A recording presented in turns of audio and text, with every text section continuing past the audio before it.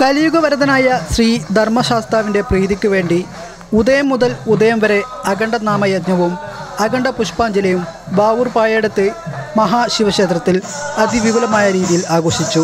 ക്ഷേത്ര അങ്കണത്തിൽ വെച്ച് നടന്ന പരിപാടിയിൽ ഭൂതനാഥ സദാനന്ദ സർവഭൂത ദയാപര രക്ഷരക്ഷ മഹാഭാവോ ശാസ്ത്രതുഭ്യം നമോ നമ എന്ന ദിവ്യമന്ത്രം കൊണ്ട് ക്ഷേത്രം തന്ത്രി ബ്രഹ്മശ്രീ കിഴക്കമ്പാട്ട് ഇല്ലത്തുന്ന ശങ്കരൻ നമ്പൂതിരിപ്പാടിന്റെ മുഖ്യ കാർമ്മികത്വത്തിൽ അഖണ്ഡ പുഷ്പാഞ്ജലിയും രാംദാസ് ഗുരുസ്വാമി ക്ഷേത്രം ഗുരുസ്വാമി വേലുക്കുഞ്ഞൻ ദാമോദരൻ എന്നിവരുടെ നേതൃത്വത്തിൽ അഖണ്ഡനാമ യജ്ഞവും ആഘോഷിച്ചു. നിരവധി ഭക്തരാണ് ക്ഷേത്രത്തിൽ പരിപാടി കാണാൻ എത്തിയത്. ക്ഷേത്രത്തിലെത്തിയവർക്ക് ക്ഷേത്ര കമ്മിറ്റിയുടെ ആഭിമുഖ്യത്തിൽ അന്നദാനവും നൽകി. മണ്ഡലകാലം ആയാൽ മലപ്പുറം ജില്ലയിലെ ക്ഷേത്രങ്ങളിലെ പ്രധാന ചടങ്ങാണ് അഖണ്ഡനാമ യജ്ഞം. അഖണ്ഡനാമ യജ്ഞത്തിന് പിന്നിൽ ഒരു കഥയുണ്ട്. അത് ഇങ്ങനെയാണ്. ഒരിക്കൽ മഹിഷാസുരൻ എന്ന അസുര രാജാവ് കഠിന തപസ്സിലൂടെ ഭൂമിയിൽ തന്നെ ആർക്കും തന്നെ വധിക്കാൻ സാധിക്കരുതെന്ന ഒരു വരം ബ്രഹ്മാവിൽ നിന്ന് നേടി. ബ്രഹ്മാവിന്റെ വരത്തിലൂടെ അഹങ്കാരിയായി തീർന്ന മഹിഷാസുരൻ ത്രിലോകങ്ങളും കീഴടക്കി മുന്നേറിയിരുന്നു. അമാനുഷിക ശക്തിയുള്ളവർക്ക് മാത്രമേ മഹിഷാസുരനെ വധിക്കാൻ കഴിയുക. എന്ന് മനസ്സിലാക്കിയ ദേവന്മാർ ദുർഗാദേവിയെ അഭയം തേടുകയും ദുർഗാദേവി മഹിഷാസുരനെ ഘോരമായ യുദ്ധത്തിൽ മഹിഷാസുരനെ വധിക്കുകയും ചെയ്തു. മഹിഷാസുരന്റെ സഹോദരിയായ മഹർഷി തന്റെ സഹോദരനെ വധിച്ചതിന് പ്രതികാരം ചെയ്യാൻ വച്ച് ബ്രഹ്മാവിനെ തപസ് ചെയ്തു. വിഷ്ണുവിനും ശിവനും ജനിക്കുന്ന ഹരിക്കും ഹരനും എന്ന കുട്ടികൾക്കല്ലാതെ മറ്റാർക്കും തന്നെ വധിക്കാൻ കഴിയരുതെന്ന് വരം വാങ്ങി. ഉടൻ തന്നെ മഹർഷി ദേവലോകത്തേക്ക് പുറപ്പെട്ടു. ദേവന്മാരെ ദ്രോഹിക്കാൻ ആരംഭിച്ചു. രക്ഷയില്ലാതെ ദേവന്മാർ വിഷ്ണുവിനെ അഭയം പ്രാപിച്ചു. മഹർഷി നേടിയ വരത്തെക്കുറിച്ച് മനസ്സിലാക്കി. അസുരന്മാരിൽ നിന്ന് അമൃത് അപകരിച്ച ദേവന്മാർക്ക് നൽകാൻ വിഷ്ണു സ്വീകരിച്ച മോഹിനി രൂപം കൊണ്ട് ശിവനുമായി ചേർന്ന് ഒരു ആൺകുഞ്ഞിന് ജന്മം നൽകി. ആ കുഞ്ഞിനെ കുട്ടികളില്ലാതെ ദുഃഖിച്ചു കഴിയുന്ന ശിവഭക്തനായ പന്തളം രാജാവ് രാജശേഖരന്റെ സംരക്ഷണയിൽ വളർത്താൻ തീരുമാനിച്ചു. ഒരിക്കൽ പമ്പാ നദിയുടെ തീരത്തുള്ള വനത്തിൽ കൂടി വേട്ടക്കായി ചെന്ന പന്തളം രാജാവ് വനത്തിൽ നിന്ന് ഒരു കുഞ്ഞിന്റെ കരച്ചിൽ കേട്ടു. കരച്ചിൽ കേട്ട് ഞെട്ടിയ രാജാവ് ആ ശബ്ദത്തെ പിന്തുടർന്നു എത്തിയപ്പോൾ ഓമനത്തും തുളമ്പുന്ന ഒരു കുഞ്ഞ് ആ കുഞ്ഞിനെ രാജാവ് കൊട്ടാരത്തിലേക്ക് കൊണ്ടുപോകാൻ മോഹിച്ചു. അപ്പോൾ രാജാവിന് മുമ്പിൽ ഒരു സന്യാസി പ്രത്യക്ഷപ്പെട്ടു. ആ കുഞ്ഞിനെ കൊട്ടാരത്തിലേക്ക് കൊണ്ടുപോകാൻ പറഞ്ഞു. ഈ കുട്ടി അസാമാന്യ ദിവ്യത്വം ഉള്ള കുട്ടിയാണെന്നും കൊട്ടാരത്തിലെ എല്ലാ ദുഃഖങ്ങളും മാറുമെന്നും പന്ത്രണ്ട് വയസ്സാകുമ്പോൾ ദിവ്യശക്തി മനസ്സിലാകുമെന്നും സന്യാസി രാജാവിനെ അറിയിച്ചു. കൊട്ടാരത്തിലെത്തിയ രാജാവ് നടന്ന കഥകളെല്ലാം രാജ്ഞിയെ അറിയിച്ചു.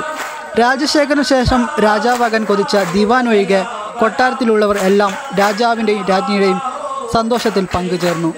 രാജാവും രാജ്ഞിയും കുട്ടിയെ മണികണ്ഠൻ എന്ന് പേര് പേരിട്ടു. മണികണ്ഠൻ ബുദ്ധിമാനും പക്വതയും എല്ലാ കലകളിലും അഗ്രഗണ്യനുമായിരുന്നു അങ്ങനെ കാലങ്ങൾ കടന്നുപോയി. ദിവാൻ മണികണ്ഠനെ ഇല്ലാതാക്കാൻ പല വഴികളും നോക്കി. എല്ലാം പൊളിഞ്ഞു നിരാശനായ ദിവാൻ രാജ്ഞിയെ പലതും പറഞ്ഞ് സ്വാധീനിച്ചും രാജ്ഞിയോട് അസുഖം നടിച്ച് കിടക്കാനും കടുത്ത തലവേദനയാണെന്ന് രാജ്ഞിക്ക് രാജാവിനെ അറിയിച്ചു. രാജാവ് ദുഃഖിതനായി. കൊട്ടാര വൈദ്യൻ എത്ര ശ്രമിച്ചിട്ടും രാജ്ഞിയുടെ അസുഖം മാറുന്നില്ല. ഈ സമയത്ത് കൊട്ടാര ദിവാൻ ഏർപ്പാടാക്കിയ വൈദ്യൻ കൊട്ടാരത്തിലെത്തി. രാജ്ഞിയെ പരിശോധിച്ചപ്പോൾ പുലിയുടെ പാൽ മാത്രമേ രോഗത്തിന് മരുന്നെന്ന് പ്രതിവിധി ഉള്ളെന്ന് പറഞ്ഞു. അങ്ങനെ രാജാവ് വിളംബരം ചെയ്തു. രാജ്ഞിയുടെ അസുഖം മാറ്റുന്നവർക്ക് പകുതി രാജ്യം പകുത്തി പകുതി നൽകുന്നെന്ന് വിളംബരം ചെയ്തു. ഒരു മകന്റെ കടമ താൻ ചെയ്യണമെന്ന് മനസ്സിലാക്കിയ മണികണ്ഠൻ അവസാനം രാജ്ഞിക്ക് പുലിപ്പാൽ തേടി മണികണ്ഠൻ വനത്തിലേക്ക് പുറപ്പെട്ടു. അങ്ങനെ വനത്തിലെത്തിയപ്പോൾ ശിവന്റെ ഭൂതഗണങ്ങൾ കൂടി യാത്രയിൽ പങ്കുചേർന്നു. മഹർഷിയുടെ അതിക്രമങ്ങൾ മണികണ്ഠനെ ശ്രദ്ധയിൽപ്പെടുത്തി. മഹർഷിയെ മണികണ്ഠൻ ഭൂമിയിലേക്ക് വലിച്ചെറിഞ്ഞു. അയുധാ നദിയുടെ കരയിൽ ഇരുവരും ഘോരമായ യുദ്ധം നടത്തി. തന്നോട് യുദ്ധം ചെയ്യുന്നത് ഹരിവരന്മാരുടെ പുത്രനാണെന്ന് മനസ്സിലാക്കിയ മഹിഷി അവസാനം മരണത്തിന് കീഴടങ്ങി. മഹിഷിയെ വധിച്ചതറിഞ്ഞ ദേവന്മാർ നാരദന്റെ നേതൃത്വത്തിൽ ചൊല്ലിയ മന്ത്രമാണ് ഭൂതാദാന സദാനന്ദ സർവാഭൂതക ദയാപര രക്ഷാ രക്ഷ മഹാബാബു ശാസ്ത്രേ തുഭ്യം നമോ നമ. ಸದಯಾ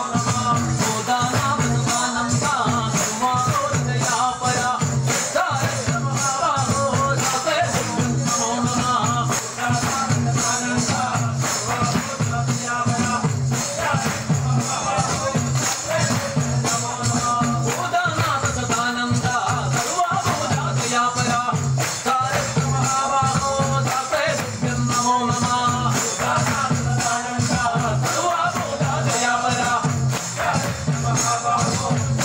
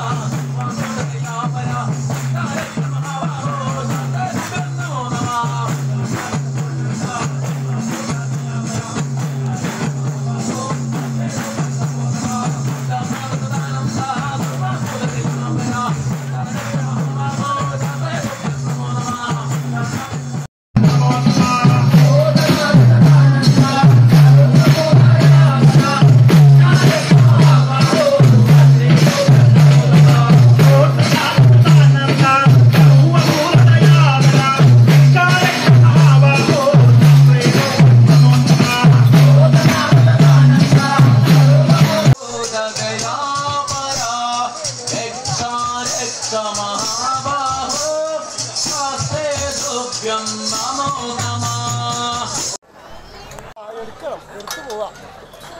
സഹകരിക്കുക വിജയിപ്പിക്കുക.